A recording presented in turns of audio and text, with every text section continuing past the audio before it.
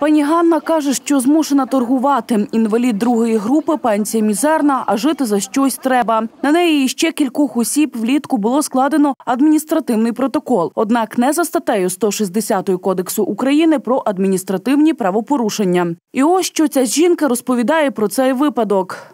Я стою під деревом, він каже, жіночки, мені треба пописати. Я не блокнотика. Я кажу, нате, моє тут є посвідчення та пишіть. Я інвалід, інвалідів пишете, всіх пишу. Він пописав, це формально, бо мені так треба. Раз, біжить через 10 минут 15, протокол, протокол підписує. Кажеш, що от, відки з дуба впали, я ніякий протокол не підписував.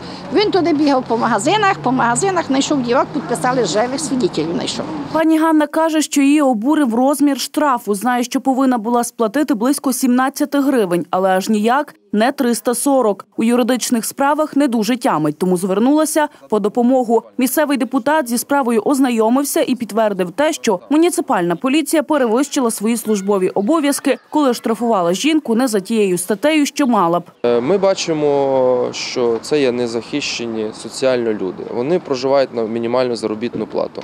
Метою торгівлі з рук є заробити тих 20-50 гривень в день як додатковий заробіток е, до своєї пенсії. Вони торгують там не промисловими товарами, а це е, продукція з города, там фасоль, яблука. Тобто заробіток становить 200 гривень. Ми звернулися до Мукачівського міськрайонного суду. І от днями Мукачівський міськрайонний суд задовольнив вимогу позивачки про скасування постанови адміністративної комісії виконавчого комітету Мукачівської міської ради, у якій їй інкримінували 152 статтю. Дала йому писати, я не боялася, бо я стояла і на то, то. І він казав, що йому блокнотик попише. А він на мене протокол составив. Та й все, та що би казати. Неправильно, і готове діло. І не попросив від мене пробачення. Я казала, ви винуваті, а він пробачення в суді, як вже казали, що я не винувата, а туди він тікет і свою юристку я. Але пані Ганна не єдина, на кого муніципальні інспектори склали аналогічні протоколи, і кого прагнуть притягнути до відповідальності за невідповідною статтею.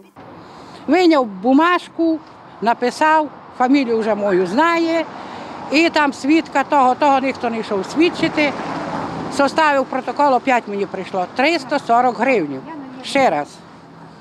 Я пішла опять у бо рішили, бо вбрали то о, поділку ту.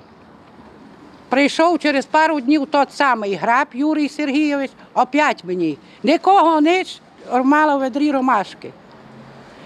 Оштрафував опять, опять 340 гривень. І визвали мене, я теж прийшла в виконком. І там дівчата сидять і каже, дві минути, що були сте була? Кажу, а кав незаконно, бо вони якщо писали мене, як я там була, так ко там був? Я сама не була, бо я була свою подругу, яка я йшла з Керта. Вона у мене тепер свідетель у суді. Керівник муніципальної поліції Мукачева на звітуванні перед громадою сказав, що у нього є кілька скарг від містян як на стихійну торгівлю, так і на конкретних продавчинь. Люди,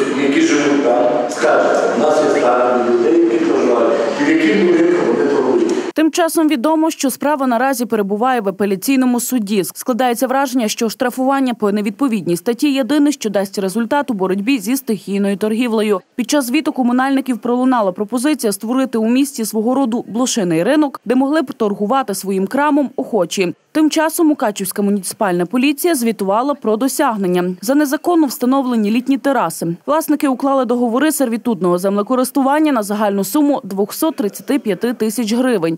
815 протоколів розглянули адміністративною комісією Мукачівського міськвиконкому. До адміністративної відповідальності притягнули 790 правопорушників та наклали штрафних санкцій на загальну суму у розмірі понад 310 тисяч гривень, з яких тепер до міського бюджету перерахували майже 171 тисячу.